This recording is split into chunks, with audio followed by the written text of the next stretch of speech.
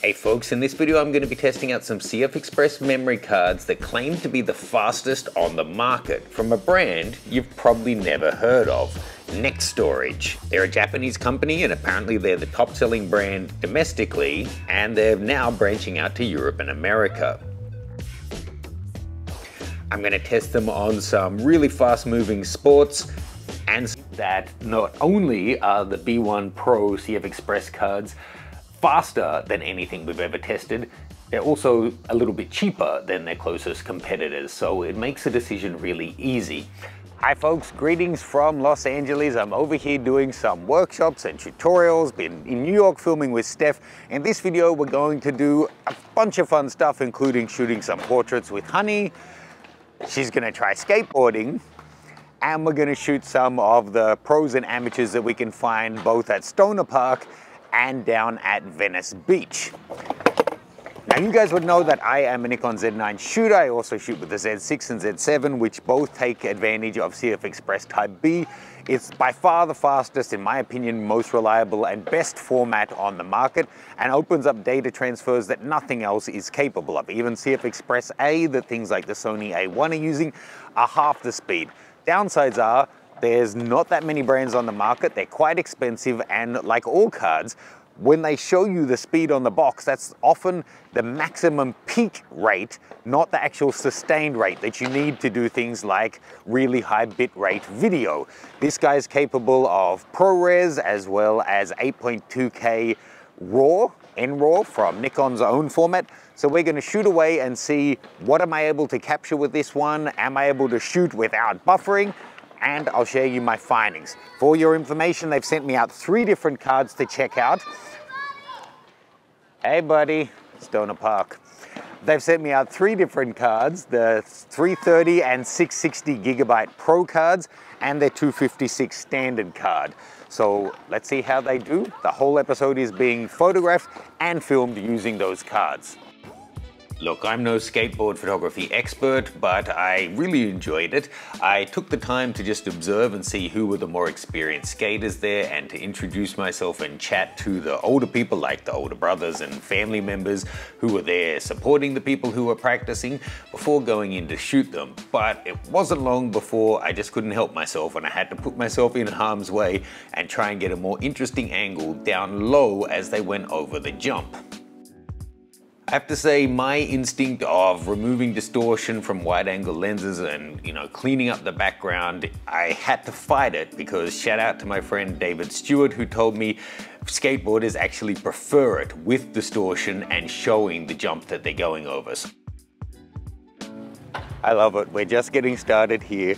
Honey's uh, watching the camera for me whilst I get my bearings and I come back and she's like, I'm just going to Google how to play skateboarding. And then she's chatting to the locals. What do you call that trick? A guy who just jumped over the ramp and did a kickflip in the air. So I'm going to try to learn how to do that one from Google. No!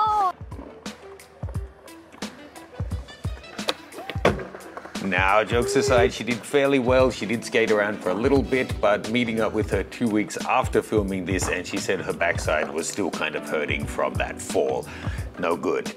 I went back down to get a few more runs as they went over the jump, including some at 120 frames per second that the Nikon allows. And as you saw in the intro, it just lets you basically make a stop motion video, but with high res JPEGs.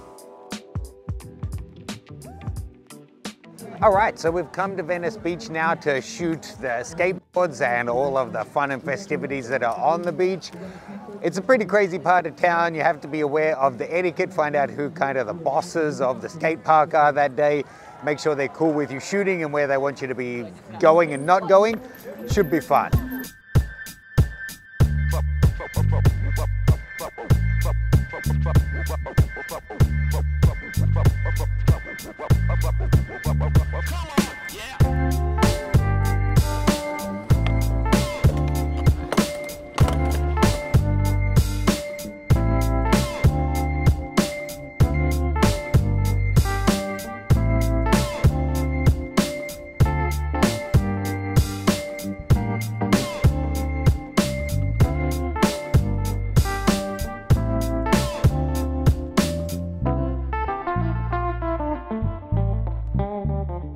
Now, I don't shoot everything at insane frames per second, but at times like this, where something's about to happen and you just won't have a second chance at it, I want to know that I can shoot and shoot and shoot and not have to deal with missed shots thanks to a buffer.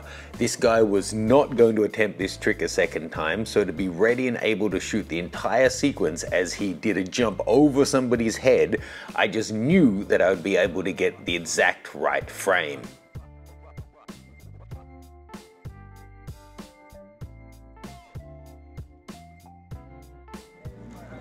Okay, that was so cool, especially with the guy jumping over the other guy's head.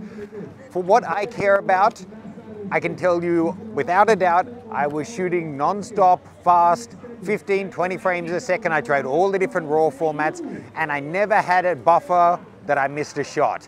And I was able to quickly switch from stills to video to slow-mo video back to stills and not have to be waiting seconds locked out. So from a performance point of view, they just perform for me.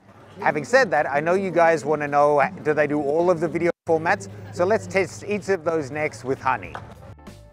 I can save some time here. The short answer is yes. We were able to film in every different format, including ProRes RAW and NRAW 8K in the hot sun and there was no issue with recording limits, no issue with overheating, even though we were shooting outdoors at the beach. They all just worked flawlessly. Okay, so flashing forward a couple of weeks, I'm now back in Hong Kong and I've been shooting with the Nextorage cards pretty much non-stop for the past couple of weeks, both in my Z9 with the CF Express Type B and I got some of the SD cards as well. I've been using those in my Z7 Mark II.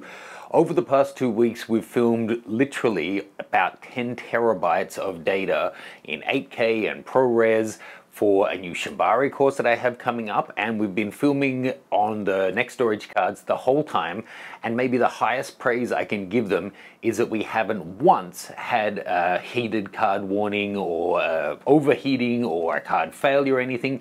Even when we're doing 8K and like one hour long clips and we're in rooms like now where you have to turn the air conditioning off so you're not getting background noise. They just work flawlessly. Now as I promised you I have gone ahead and done my side-by-side -side testing with the other cards that I've tested over the years and I'm happy to say that not only are the B1 Pro CF Express cards faster than anything we've ever tested, they're also a little bit cheaper than their closest competitors, so it makes the decision really easy. I'll pop a link below where you can download the full uh, testing for yourself, but essentially the 660 card is the fastest. Lossless 20 frames a second, we got 86 frames off.